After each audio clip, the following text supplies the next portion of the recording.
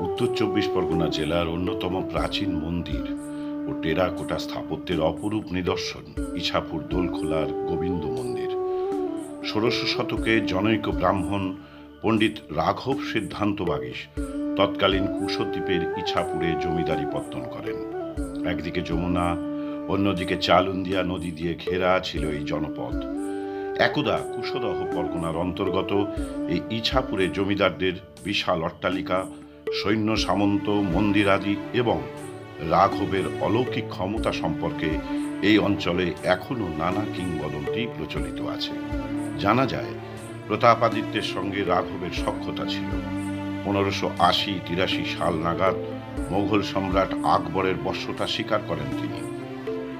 বাদশাহী আনুকূল্যে রাঘব চৌধুরী উপাধিও পান। তার নাতি রঘুনাথ ষোলোশো একান্ন সাল নাগাদ ত্রিতল গোবিন্দ মন্দির তৈরি করান। মন্দিরের গায়ে ছিল অপূর্ব টেরাকোটার কাজ।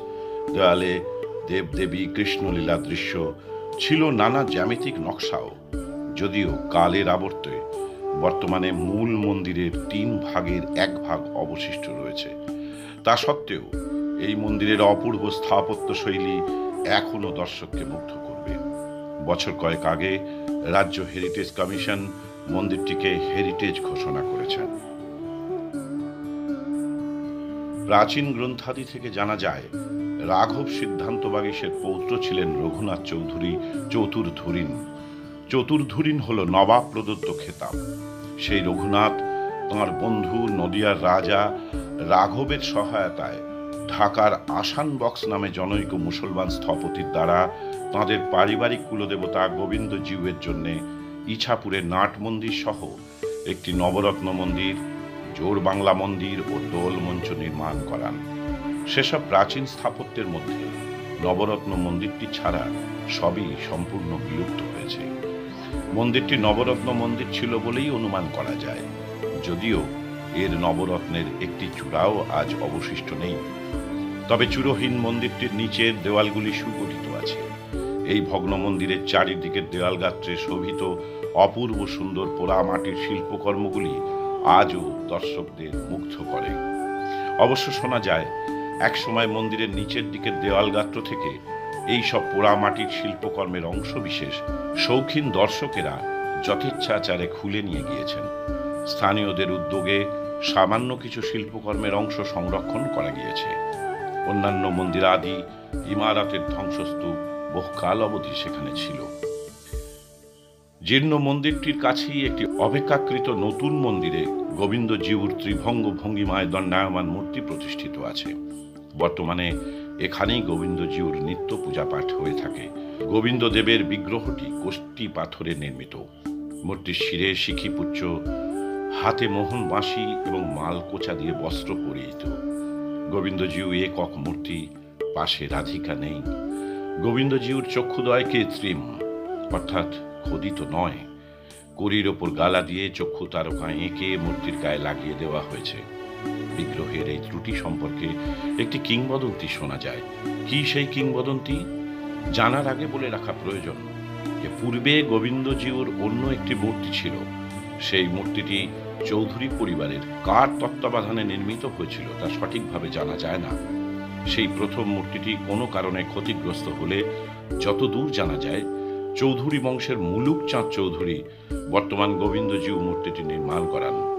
কিংবদন্তি আছে স্বপ্নাদেশে যমুনা নদী থেকে প্রাপ্ত একটি শিলা দিয়ে গোবিন্দ মূর্তিটি নির্মিত হয়েছিল।